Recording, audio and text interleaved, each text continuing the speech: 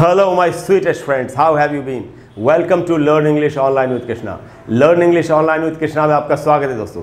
दोस्तों दिवाली का शुभ अवसर है तो आप सभी को दिवाली की हार्दिक शुभकामनाएँ। हैप्पी दिवाली।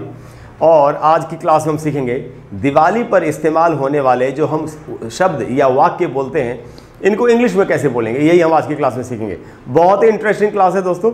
आपको ध्यान से एंड तक पूरे वीडियो को देखना चाहिए। देखिए आज का जो टॉपिक हमारा वो है दिवाली वैकेबुलरी दिवाली से संबंधित शब्द। तो एक एक करके सीखते हैं। दिवाली में दोस्तों क्या होता है? दीपावली दि, दिवाली के दिन चारों तरफ़ प्रकाश फैला होता है रोशनी फैली होती है। इसीलिए इसको दिवाली को फेस्टिवल ऑफ़ लाइट्स भी कहा जाता है। यानी कि प्रकाश पर्व। फेस्टिवल का अर्थ होता है पर्व या त्यौहार। तो फेस्टिवल ऑफ़ लाइट्स प्रकाश का पर्व ये इसका एक नाम है। और दीपावली जो है या दिवाली जो है ये बहुत ही शुभ अवसर होता है। शुभ अवसर इसलिए है क्योंकि इसको बुराई पर अच्छाई के विजय के प्रतीक के रूप में भी देखा जाता है। तो दोस्तों, शुभ अवसर को इंग्लिश में बोलेंगे ऑस्पिशियस अकेजन ऑस्पिशियस अकेजन का मतलब है शुभ शुभ अवसर। अच्छा दोस्तों, जैसा मैंने आपसे कहा कि दीपावली के दिन चारों तरफ़ प्रकाश फैला होता है तो बिजली वाली लड़ी भी जलाते हैं लोग। और मिट्टी के दिए जलाने की परंपरा हमारे देश में शुरू से रही है। मिट्टी के दिए ज़रूर जलाने चाहिए और क्योंकि इससे बहुत खूबसूरती बनती है। तो दोस्तों, मिट्टी के दिए को इंग्लिश में क्या बोलेंगे? मिट्टी के दिए को दोस्तों बोलेंगे इंग्लिश में अर्थन लैम्प अर्थ जो वर्ड है, इसकी दो मीनिंग है। एक मीनिंग है इसकी पृथ्वी और दूसरी मीनिंग होती है इसकी मिट्टी। तो अर्थन का मतलब है मिट्टी का बना हुआ। अर्थन लैम्प लैम्प का मतलब होता है दिया या दीप। लैम्प एक और भी लैम्प होता है, बड़ा जो जलाते हैं, और दिए को भी लैम्प ही कहा जाता है। तो अर्थन लैम्प का मतलब है मिट्टी का दीप या मिट्टी का दिया दिया या दीप। अच्छा दोस्तों, उसके बाद जैसे दिए को हम जलाते हैं, दीप को जलाते हैं तो उसको बोलेंगे लाइट लैम्प्स लाइट लैम्प्स का मतलब है दिया जलाना, या हम मोमबत्तियाँ भी जलाते तो हम बोलेंगे लाइट कैंडल्स तो लाइट लैम्प्स या लाइट कैंडल्स का मतलब है दिए या मोमबत्तियों को जलाना, दिए जलाना या मोमबत्तियाँ जलाना. उसके बाद जो अगला टर्म है हमारा दोस्तों, वो है फायर वर्क्स फायर वर्क्स या फायर क्रैकर्स फायरवर्क्स या फायर क्रैकर्स का मतलब है पटाखे। जनरली अपने देश में हम लोग फायर क्रैकर्स ज़्यादा इस्तेमाल करते हैं। बट फायरवर्क्स का भी वही मीनिंग है, जो फायर क्रैकर्स का मीनिंग फायरवर्क्स एक्चुअली बड़ी चीज़ है। फायरवर्क्स में सब कुछ आ जाता है। जैसे आप देखेंगे कि कई बार जो आसमान में जाके बहुत काफ़ी दूरी तक वो रोशनी होती है और ऐसे लगता है जैसे फूल बरस रहे हों। तो ये पूरा जो है, ये फायर है। और जो फायर क्रैकर्स है वो जो पटाखे होते हैं, जो जो फटते हैं नीचे, उनको फायर क्रैकर्स कहना चाहिए। यानी फायर क्रैकर्स जो है, वो फायर वर्क्स का एक हिस्सा है, ऐसे हमको समझना चाहिए। बट जनरली पटाखों के लिए आप दोनों ही वर्ड्स का इस्तेमाल कर सकते हैं। तो फायर वर्क्स या फायर क्रैकर्स का मतलब है पटाखे या आतिशबाजी। आतिशबाजी भी इसको कहते हैं।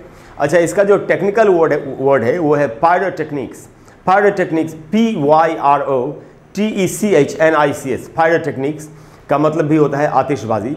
वो एक एक व्यापक, एक बड़ा टर्म है। तो दोस्तों फायर या फायर क्रैकर्स अच्छा अब हम पटाखे चलाते भी तो हैं। पटाखे चलाने को इंग्लिश में क्या कहेंगे? अगर आपको इंटरनेशनल लेवल की इंग्लिश बोलनी है तो आपको कहना चाहिए लेट ऑफ़ फायर और अमेरिकन इंग्लिश में ज़्यादा बोलते हैं सेट ऑफ़ तो लेट ऑफ़ या set off set off American English है। लेट ऑफ़ या सेट ऑफ़ फायर का मतलब है पटाखे चलाना। नहीं तो अपने देश में जो चलता है, वो चलता है बर्स्ट फायर क्रैकर्स ये ज़्यादा चलता है। इसका मतलब ये नहीं कि इनमें कोई भी गलत या सही है, सारे सही हैं। मैं तो सिर्फ़ आपको ये बता रहा हूँ कि कौन सा कहाँ पर ज़्यादा चलता है। इंटरनेशनली अगर आपको बोल रहा हूँ तो let off fire work American तरीके से ज़्यादा बोल रहा हूँ तो सेट ऑफ़ फायर वर्क और इंडिया में अब जहाँ जो ज़्यादा चलता है, वो है बर्स्ट फायर क्रैकर्स इसका भी मीनिंग है पटाखे चलाना। अच्छा जब प्रकाश पर भी है, रोशनी का ही त्यौहार है तो चारों तरफ़ जगमग रोशनी होती है दिवाली की रात में। पूरा देश, बल्कि आप कहें तो पूरी दुनिया, क्योंकि भारतीय जो है वो पूरी दुनिया में है। और अब तो विदेशी भी मनाते हैं हमारे इस त्यौहार को, क्योंकि ये त्यौहार सबके, सबको अच्छा लगता है। तो दोस्तों, जगमग को बोलेंगे इल्यूमिनेटेड। इल्यूमिनेटेड का मतलब है जगमग, यानी रोशनी से जगमग, चारों तरफ़ जो जो प्रकाश फैला होता है। तो इल्यूमिनेटेड, उसके बाद दोस्तों दिवाली की रात में क्या होता है? पूजा भी होती है। तो आप उसको परफॉर्म पूजा बोल सकते हैं। क्या मतलब है? पूजा करना। परफॉर्म पूजा। अच्छा पूजा जो वर्ड है, अब ये ऑक्सफर्ड की डिक्शनरी में शामिल हो चुका है। इसलिए अभी इंग्लिश का वर्ड है। ज़रूरी है कि हम हर बार पूजा के लिए वर्शिप वर्ड का ही इस्तेमाल करें। अब अगर आप पूजा बोलेंगे तो भी गलत नहीं होगा, क्योंकि ऑक्सफर्ड की जो डिक्शनरी है, उसमें पूजा वर्ड शामिल हो चुका है। ऑक्सफर्ड वाले ही इंग्लिश के माए बाप हैं। उनकी डिक्शनरी में जो वर्ड शामिल हो जाए, वो अंग्रेज़ी का वर्ड हो जाता है। इसीलिए आप परफॉर्म का मतलब है करना, और पूजा का मतलब है पूजा। तो परफॉर्म पूजा का मतलब हो गया पूजा करना। और दिवाली की रात में क्या होता है? लोग मिठाइयाँ बांटते हैं, खुशी का मौका है, खुशी का त्यौहार है। तो डिस्ट्रीब्यूट स्वीट्स डिस्ट्रीब्यूट का मतलब होता है बांटना। स्वीट्स का मतलब है मिठाइयाँ। तो मिठाइयाँ बांटना कहेंगे डिस्ट्रीब्यूट स्वीट्स और अंत में क्या होता है? हम सब लोग मिलकर दिवाली को मनाते हैं। We celebrate Diwali. सेलिब्रेट का मतलब है मनाना। तो वी सेलिब्रेट दिवाली दिवाली मनाना। तो दोस्तों, ये दिवाली से जुड़े हुए टर्म्स या वर्ड्स या फ्रेजेस थे। मुझे पूरी उम्मीद है कि अब अगर आपको दिवाली से जुड़ी हुई ये बातें बोलनी होंगी तो आपको बिल्कुल भी दिक्कत नहीं होगी। जैसे अगर आप बोलना चाहते हैं, चलो, पटाखे चलाते हैं तो आप कह सकते हैं लेट्स बर्स्ट फायर क्रैकर्स या लेट्स सेट ऑफ़ या लेट ऑफ़ फायर वर्क्स या फायर क्रैकर्स तो इस तरीके से आप बोल सकते हैं। तो दोस्तों, अगर आपको क्लास अच्छी लगी हो तो प्लीज़ वीडियो को लाइक करें और शेयर करें और चैनल को सब्सक्राइब करें।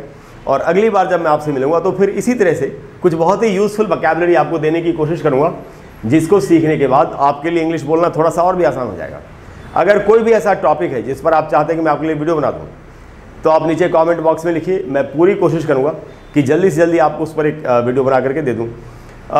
मैं दिवाली के अवसर पर यही कह सकता हूँ दोस्तों कि भगवान करे, अल्लाह करे कि जो भी ऊपर वाला है हमारा, जो भी गॉड है, उनकी कृपा आपके ऊपर हो। और आपके जीवन में अगर कोई भी तकलीफ़ है या दुख है तो आपके जीवन से वैसे ही चले जाए। जैसे रोशनी के जलने से अंधेरा चला जाता है। मैं यही आपसे, आपके लिए मैं यही मनोकामना रखता हूँ और यही मैं भगवान से मांग सकता हूँ, यही प्रार्थना कर सकता हूँ।